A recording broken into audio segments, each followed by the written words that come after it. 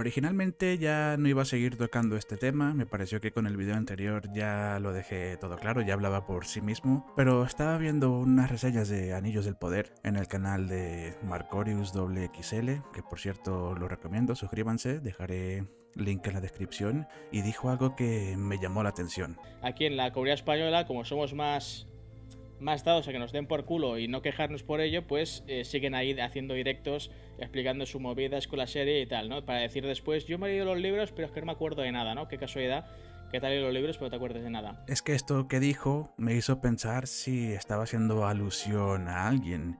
Y ya saben lo que tengo que poner ahora.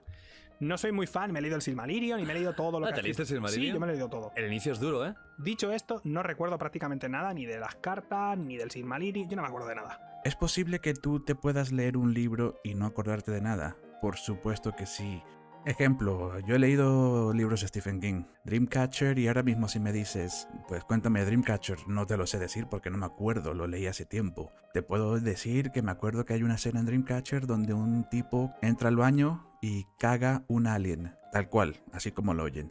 He leído también Cell. ¿Me acuerdo de algo de ese libro? No. O sea, es un virus zombie y que creo que se transmitía por señales de teléfonos celulares. Y hay una escena que un tipo se vuelve loco y le muerde la oreja a un perro. O sea, claro, te sueles acordar de esos detalles impactantes. Pero, y aquí hay que decir pero, hay que poner un pero. Este man es muy de decir este tipo de cosas, es muy de dar aquí, no sé, frases contundentes, no sé si llamarlo exageración, hipérbole. Fíjense como aquí Jordi Salvaje le hace una pregunta directa. No soy muy fan, me he leído el Silmarillion y me he leído todo lo Ah, que ¿te leíste el escrito. Sí, Silmarillion? yo me lo he leído todo. El inicio es duro, ¿eh?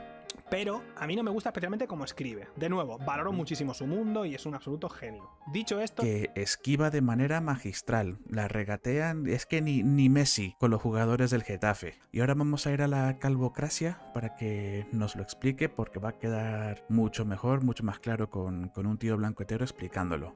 Pero si de verdad le vas escuchando, porque yo lo he escuchado un montón, ¿eh? Yo he visto prácticamente todo lo que ha hecho Peterson, todo lo que ha hecho Sisek, todo lo que ha hecho ca- casi todo.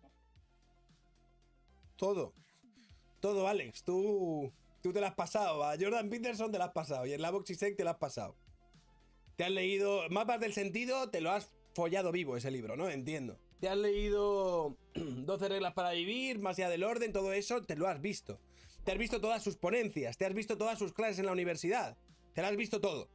Has visto todo Peterson. Todo tú, tú lo has visto. Y Sisek igual.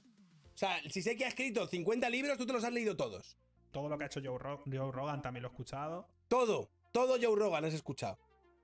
Joder, macho, yo me considero fan de Joe Rogan y me gusta Joe Rogan y me gusta Jordan Peterson y a lo mejor he escuchado un 20%, un 30% de todo lo que ha dicho y hecho Jordan Peterson. Este tipo de cosas, para que se hagan una idea, es como si yo digo que me vi One Piece entera, One Piece, el anime, en un fin de semana.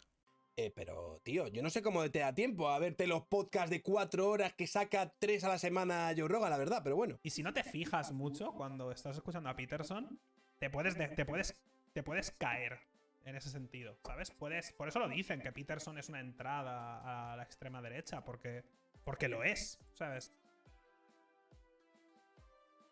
En fin, que yo aquí ahora me veo obligado a poner en duda tu credibilidad, lo lamento. Así que déjenme en los comentarios lo que ustedes opinan.